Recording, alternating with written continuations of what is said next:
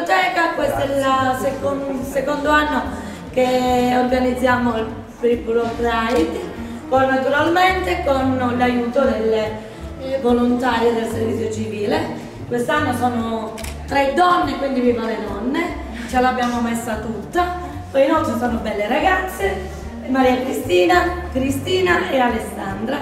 Adesso inizieremo oh, il programma che nel nel, nel, volantino, inizieremo dal museo perché poi i nostri diciamo, collaboratori del comune vanno via per le 5 e mezza 6 quindi conviene seguire loro vi portano al museo, vi fanno una visita guidata poi torniamo qui e facciamo biblioteca, casa del libro antico e poi aspettiamo eh, la serata perché ci sarà un dialogo um, con Antonio Saffiotti con loro tre. E quello oh, eh, deve essere, cioè, credo che sia un bel, un bel confronto. Quindi buon inizio, prego. Grazie. Io rimango qua. Allora, diciamo un attimo il programma, quale sarà? La signora Brunetti ha già detto un po' che cos'è il Biblio Pride, ma lo ripetiamo per ricordarlo agli altri. Il Biblio Pride è un evento nazionale che si tiene quest'anno a Pistoia, dal 23 al 30 settembre. Quest'anno da noi, per motivi che non vi stiamo a dire, l'abbiamo organizzato il 28 settembre in una giornata. Però in, nella sua semplicità, nella sua essenzialità speriamo che possa arrivare dritto ai vostri, ai vostri cuori, ma non la facciamo così romantica come cosa, ma soprattutto alle vostre menti, per aprire le menti di ognuno, piccoli, grandi che siamo, perché crediamo che la conoscenza sia sempre nuova, si possa conoscere sempre qualcosa di diverso, anche in un palazzo dove andiamo ogni giorno a studiare, soprattutto parlo con i ragazzi ci rechiamo qui per leggerci il nostro libro, per eh, preparare il nostro esame, però eh, diciamo che non abbiamo relazione con gli altri. Quindi per far capire cosa vogliamo iniziare questo Pride oggi, per far capire come la biblioteca non sia solamente un luogo statico, ma un luogo attivo di relazionalità con gli altri, dove le persone possono conoscere e conoscersi e soprattutto conoscere dove noi stiamo poggiando in questo momento i nostri piedi era un palazzo nobiliare, ne sappiamo la storia, sappiamo un po' nelle diverse sale quali affreschi ci sono, ecco, per una sorta di conoscenza personale, culturale, che ci arricchisce. E poi parlare anche e soprattutto del museo, delle radici della nostra storia, perché è fondamentale conoscere chi noi siamo. Quindi partiremo oggi proprio da questo e le ragazze vi diranno un po' quale sarà il programma. Comunque quando saremo nei luoghi inizieremo a spiegarvi in maniera dettagliata che cosa faremo. Beh, allora, ora ci spostiamo tutti quanti insieme verso il museo, facciamo la prima tappa lì dove sarà appunto Maria Cristina a spiegarvi un po' eh, le varie sale con le sezioni, con i periodi soprattutto. E poi ritorniamo qui, eh, inizieremo proprio dall'esterno, a spiegare più o meno già dall'esterno cosa eh, si può notare di particolare da un palazzo che magari noi passiamo e lo vediamo lì veramente statico quando in realtà ha tanto da raccontare. E poi ci sposteremo all'entrata, appunto c'è una porta con la casa del libro antico, eh, lì ci sono libri, ci sono 2500 libri in realtà, sono tantissimi, eh, sono dei libri studiati e ristudiati, comunque poi ne parleremo eh, sempre all'interno. Eh, sono libri molto antichi e proprio casa del libro antico perché sono eh, libri del 1400 e poi eh, come ha detto appunto Claudia, ci sposteremo nella eh, sala Giuseppe Verri per eh, ascoltare eh, un po' del libro di Antonio, diciamo qualche domanda ad Antonio che ci risponderà ehm, e farà conoscere questo, quest'opera che ha creato, dove dirà tanto. Quindi, beh, spostiamoci allora, sì. ok?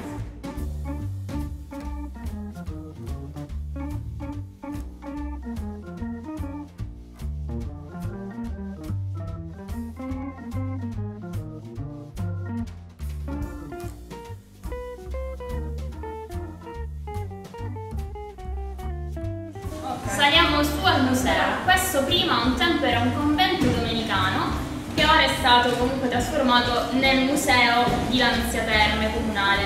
Ora saliamo e vediamo un po' quali sono le varie sezioni, ok? Mi impegno con le scale, pure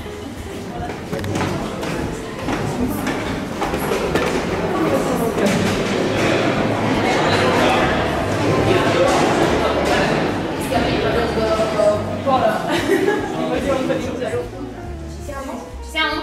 Possiamo iniziare il nostro percorso. Ok, andiamo. La prima sala è la preistoria.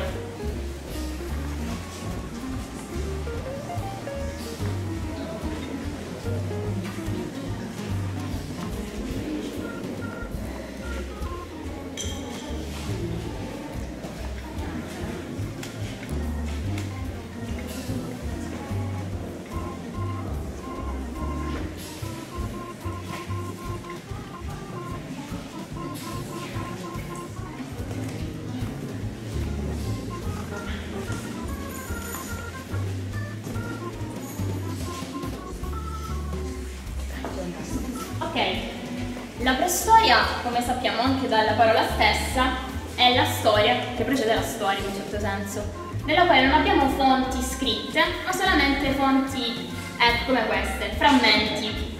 Tutto ciò che vediamo all'interno di questa sezione, ma anche di tutte le altre sezioni del museo, fanno riferimento alla piana di Lamezia Terme, ma non solo, anche altre realtà della Calabria stessa. Nella prima teca possiamo vedere quelli che sono gli strumenti rudimentali utilizzati in quel periodo, perché sappiamo che la popolazione di quel tempo era una popolazione comunque nomade, stiamo parlando del Paleolitico, un periodo in cui quindi si iniziava a conoscere cosa fosse la pietra. Quindi la pietra veniva in un certo senso raffinata in maniera molto grezza, molto grossolana e lo possiamo ammirare in questi, questi frammenti che derivano da diverse parti della Calabria, ma soprattutto della piana di Lamezia Terme. Infatti vediamo Scordovillo, Tercarini, Truscia e tante varie altre, altre zone della Calabria. Abbiamo anche altri frammenti per quanto riguarda um, alcuni animali che si sono estinti, che un tempo erano molto più grandi rispetto agli animali di come sono ora. Per quanto riguarda invece tutte le altre zone abbiamo sempre altri frammenti che in un certo senso ci dicono come la realtà della Calabria si stava trasformando. Ancora qui vediamo comunque una realtà grossolana. Abbiamo dei grattatoi che servivano ovviamente per cacciare, perché un tempo ovviamente era la caccia la realtà fondamentale. Non c'era né l'agricoltura e nemmeno l'allevamento. L'unica cosa era la caccia oppure gli alberi da frutto. Vediamo come eh, nella trasformazione dal passaggio dal paleolitico al neolitico, quindi alla nuova pietra, la realtà inizia a diventare più raffinata. Il laborline con cui venivano trasformate proprio le pietre si differenzia. Abbiamo un passaggio fondamentale, dalla pietra alla ceramica. Qui infatti possiamo notare come questi frammenti, vi ripeto, sempre trovati vicino in Calabria, ma anche comunque vicino alle nostre terre, come vengono trasformati e utilizzati ehm, le decorazioni. Le decorazioni venivano fatte soprattutto, ad esempio, con le unghie, erano comunque, vi ripeto, sempre mh, delle decorazioni molto grossolane. Con canne. Sì. Anche con utensili come le canne, canne spezzate, si utilizzavano per uh, intagliare diciamo, e modellare eh, il materiale. Poi Qui c'è un elemento fondamentale che è l'ossidiana. L'ossidiana deriva dalle isole Eolie pratica era una pietra lavica che veniva quindi recuperata da quelle zone e veniva utilizzata soprattutto per le frecce proprio perché era molto appuntita. La parte più importante, si può dire, del periodo della preistoria per quanto riguarda non la Mezia, quindi la piana lametina, ma comunque la Calabria stessa, è quel frammento lì, quella tomba, possiamo vedere vicino, che è stata trovata nella grotta di Papasidero, la grotta del Romito.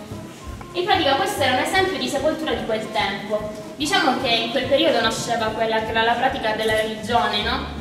Però era una pratica abbastanza grossolana e diciamo che c'era la concezione secondo la quale delle persone che erano legate di un vincolo, in questo caso poteva essere un matrimonio, amicizia, fratellanza, venissero comunque sepolti insieme perché credevano che oltre la, la vita terrena ci fosse una vita celeste, quindi parlando dell'eternità.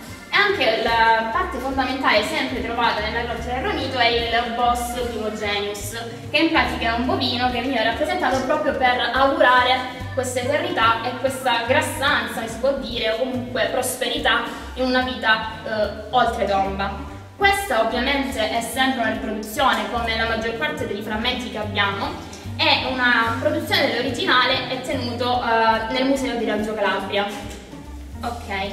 Una curiosità è per l'appunto che eh, uno dei due corpi è più grande rispetto all'altro e si, presuma, si presumeva che appunto uh, uno fosse una, eh, un corpo di donna sì, e l'altro invece di, di, un di, un uomo e si presume appunto fosse il figlio e quindi fossero stati messi nella stessa tomba. E... In realtà ci sono diverse versioni, ecco, chi dice siano una coppia di amanti, chi madre e figlio, chi l'uomo essendo quello più piccolo fosse effetto di un ananismo, ma in realtà ci sono varie interpretazioni come in qualsiasi cosa ovviamente. La cosa importante è l'immaginazione perché in questo periodo, vi ripeto, non c'erano delle fonti scritte, delle fonti esatte. Quindi il periodo della preistoria in realtà si conclude proprio da questa evoluzione, dal passaggio della pietra alla ceramica, da pratiche più grossolane a pratiche più raffinate. E proprio da lì vediamo un esempio di archeologia sperimentale. Infatti un autore della Piana Lametina è riuscito a riprendere le tecniche ceramiche che venivano utilizzate proprio nella preistoria quindi venivano ripresi gli stessi materiali, gli stessi, utilizzavano le stesse mani ad esempio per poterla modellare e li possiamo vedere lì in, quel, in quelle teche lì.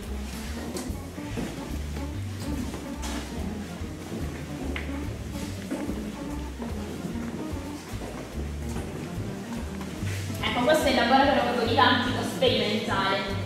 Quindi queste sono delle vere e proprie rappresentazioni di come dovevano essere quelle, eh, quei vasi lì, perché soprattutto erano dei vasi. Mm, tutti i frammenti che possediamo comunque, anche vediamo nell'età classica, sono frammenti di vita quotidiana, quindi case o comunque realtà che sono state ritrovate. E vediamo che in questa sezione diciamo, la realtà è molto frammentata, non abbiamo tante testimonianze. Ecco, è stato ripreso anche questo laboratorio del formare un focolare dove veniva colta proprio l'argilla allo stesso modo di come doveva essere un tempo, quindi stiamo parlando di circa 2 milioni di anni fa, quindi è una cosa fondamentale. Perché a volte non ci si pensa, ma anche la nostra realtà è stata dominata uh, da varie realtà differenti, cosa che vedremo soprattutto nell'età classica e nell'età della Magna Grecia, che vedremo tra un attimo. Potete vedere un attimo e soprattutto ovviamente qui, scusate ho dimenticato, è il simbolo dell'evoluzione umana ovviamente, quindi la trasformazione del cranio in base alle varie epoche.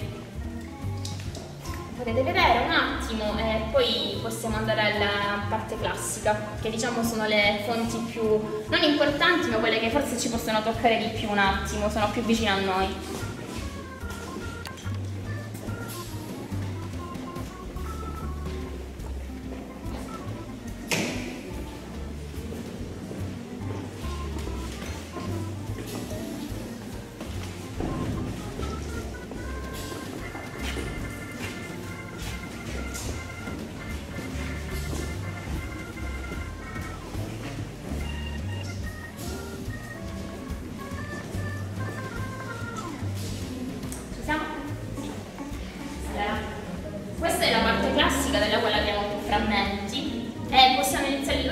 discorso faceva riferimento a queste tabelle bronze. Una risalente al V secolo, l'altra comunque al IV secolo, che è quella della quale conosciamo veramente cosa c'è scritto. Questo primo frammento, che è quello di una lamina bronza eh, del V secolo, non sappiamo in realtà cosa c'è scritto al suo interno, però è la testimonianza del passaggio dalla ceramica a quello che è il bronzo e quindi i metalli, quello per questo è la classica viene denominata la realtà dei metalli. Poi invece questa lamina, che in realtà forse è la più importante, fa riferimento alla metà del IV secolo, è in pratica è un testamento patrimoniale fatto da un padre alla sua famiglia, nella quale ovviamente venivano demandati i vari beni della famiglia. Una delle parti più diciamo, importanti della sezione classica sono i tesoretti, ovvero le monete che sono state ritrovate nei vari ambienti della Calabria, ma soprattutto della Piana di Terme. Uno dei più importanti è quello di Acquafredda,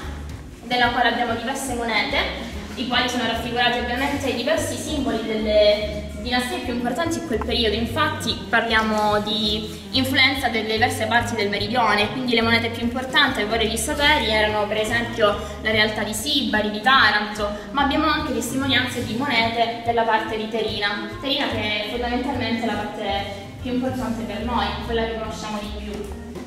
Qui possiamo vedere proprio le diverse monete alle diverse parti geografiche del territorio pittura per quanto riguarda l'età classica, infatti a Livria viene definita figure rosse. L'importanza diciamo, di quel periodo era dipingere quelle che erano delle figure nere che vedremo poi successivamente, ma questa è una cosa fondamentale e importante, diversa rispetto a tutte le altre cose che abbiamo visto fino ad ora. Che cos'è? Semplicemente un vaso che ha la caratteristica di avere tre manici che veniva utilizzata, come dice la parola stessa che deriva dal greco, per l'acqua, era quindi un contenitore utilizzato per l'acqua eh, le figure qui rappresentate rappresentano una donna, comunque sicuramente si, si pensa, si prospetta le origini nobiliari, che eh, è in preda a fare il suo bagno, la sua toiletta, attraverso, attraverso l'aiuto ovviamente dei, dei suoi servi. questa deriva da Contrada Cerzeto, quindi sempre della uh, piana di Venezia.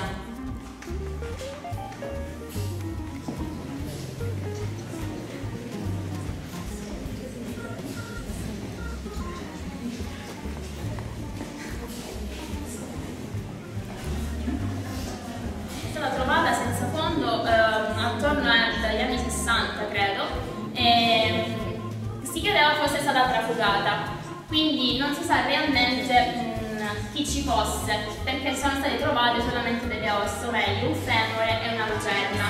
La cosa diciamo, più curiosa è che all'interno di questa tomba, che è stata ovviamente riposizionata nella stessa maniera, mm, sono dei, ci sono dei numeri romani, dall'1 al 10, che proprio simboleggiano il fatto che mm, avessero loro, un loro ordine e una loro organizzazione.